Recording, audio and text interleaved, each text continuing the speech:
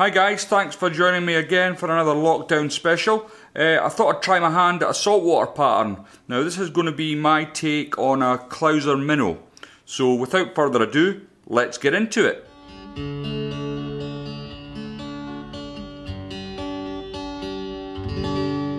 In the vise then is a Hanak H950 barbless hook. This is an extra long shanked hook, Streamer XL and it's on a heavy wire hook in black nickel.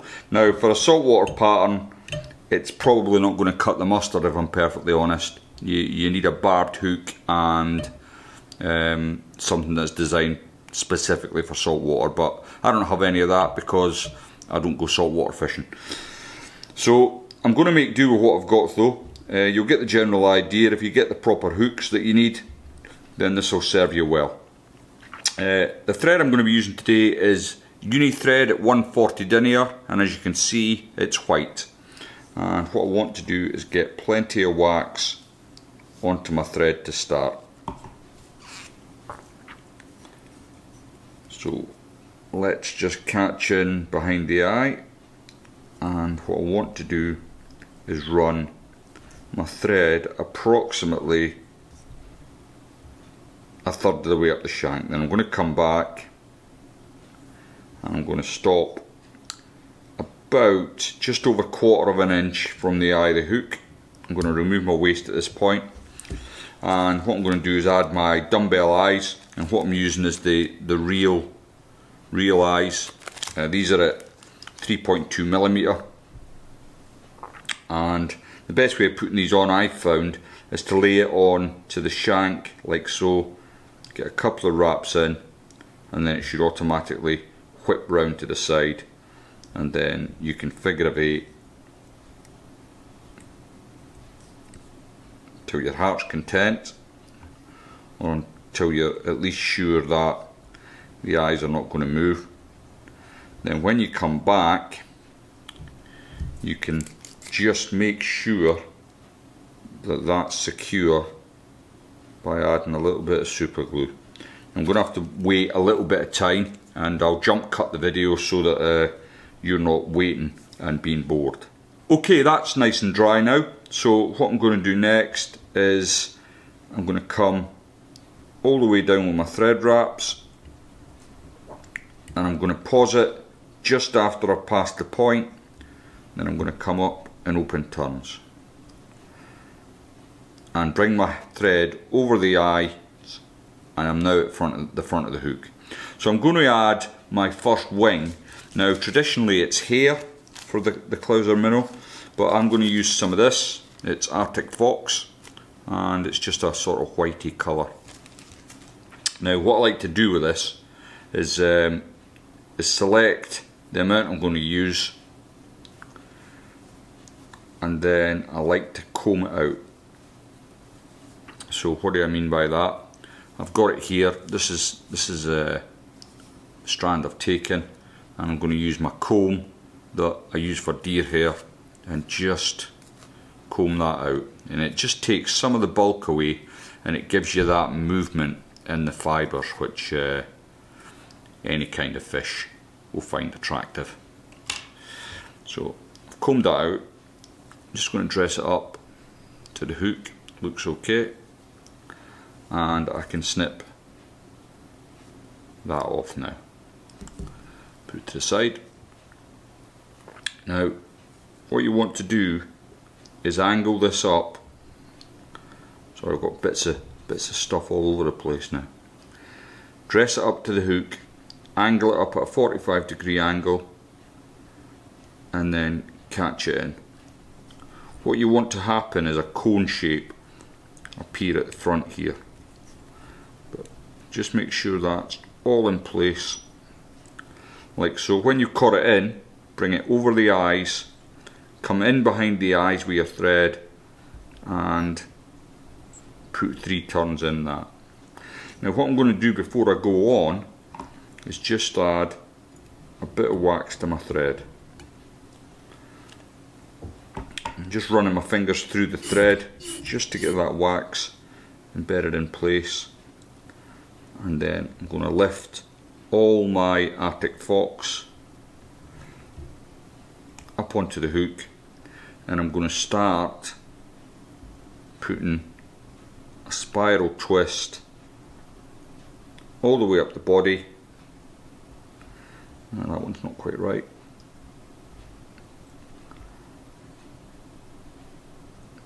To the end there. And I'm happy with that. Now when I get to the end, I'm going to just put another turn in at the end and I'm going to come back. So I'm crisscrossing my thread here.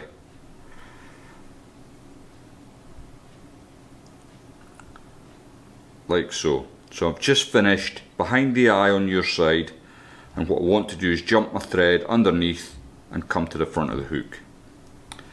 Now for my money I've probably used just a little too much Arctic Fox on this one but uh, I'm going to persevere.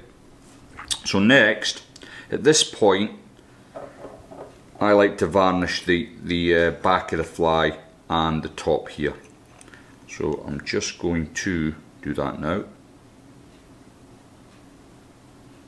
I'm not using varnish actually, I'm going to use um, some UV resin because it just dries quicker and I can get on with the tying. So just catch all that in. Like I say, I'm not a saltwater fisherman, I don't tie a lot of saltwater patterns, so I'll put the tin hat on once I've posted this and uh, if you've got any hints or tips how I can improve on the pattern, I'm all ears. So just curing that off now. Yeah, that's well thick, isn't it? Mm, not happy with that. But anyway, next I'm going to add in some crinkle flash and what I'm going to do is add, I'm looking for three strands I can pull off of here and what I want to do is bring the under under the eye of the hook. And once I've got it caught in I can then separate them. So three each side.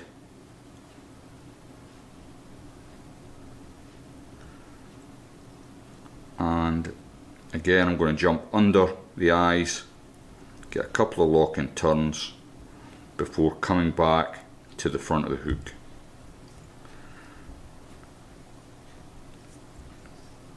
So what's that what's that done?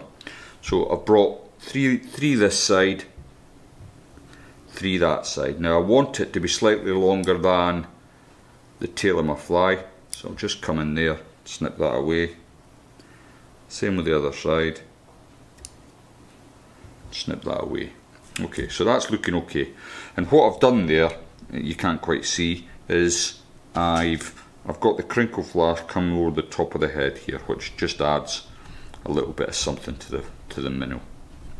So next for the underwing I'm going to turn invert my vise and traditionally I think the the Clouser minnow oops I've missed a bit there I'll just grab that the Clouser minnow um, had a, a green underwing or a chartreuse underwing. So what I'm going to use is some of this, uh, it's, it's bucktail and it, it's a yellow. Now with the bucktail you don't need very much and I've loosely stacked it here. And I'll just give that a little thing, uh, a little tap. Then when I take it out, what I want to do is just open that up get the length and it wants to be about the same length as your Arctic Fox. Excuse my fingers. And you should then take your fibres and leaving about a quarter of an inch. And I'm just doing this over the bucket so I don't make a mess. You've got a quarter of an inch left. So basically you can come in. I'm just going to lock my vise actually.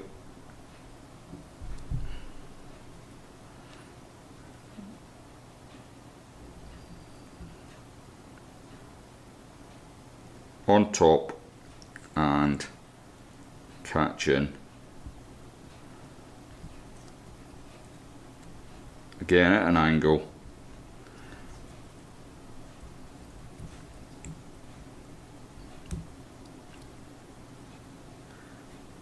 Your chartreuse. And I'm just going to mess about with this slightly. There we go. Now I can invert the vise back so we can see what we're doing. And I can lock that off. Then what I want to do with my thread here is just build that nice cone shape up.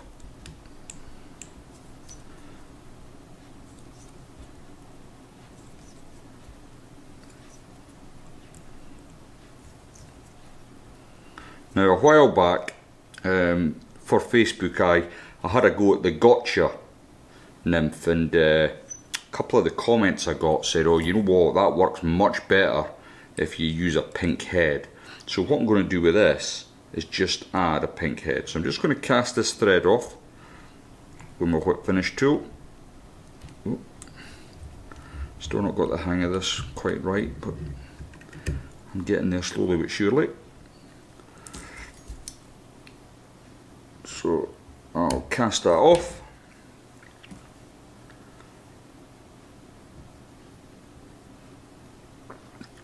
And then I'm going to come in with some Glo-Brite number 2 and as you can see it's a bright pink.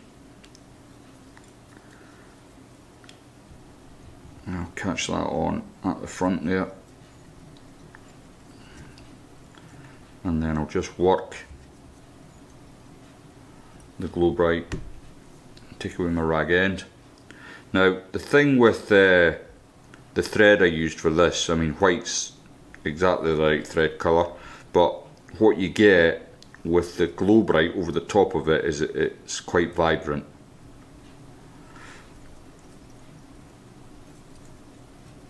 So fairly happy with that. Again, coming with the whip finish. Or if you wish you could use a use a, um, a half hitch. just snapped that off there. Not to worry. I've got the I've, it's secure so I can just come in with my snips and remove any waste. Then to finish it off I'm just going to get some UV resin onto the hook, sorry, onto the head. To finish the fly.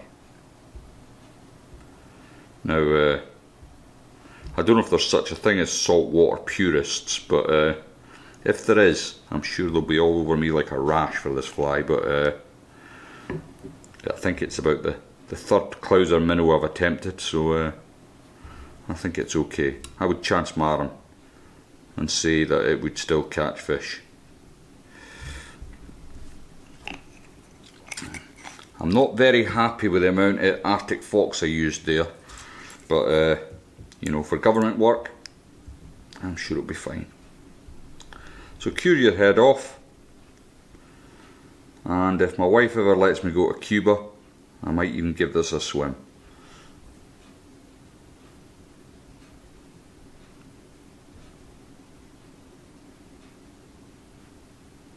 Perfect.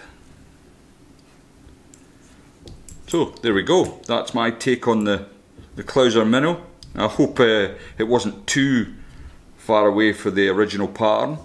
If you haven't subscribed to the channel, please think about clicking the button and I'll see you all next time.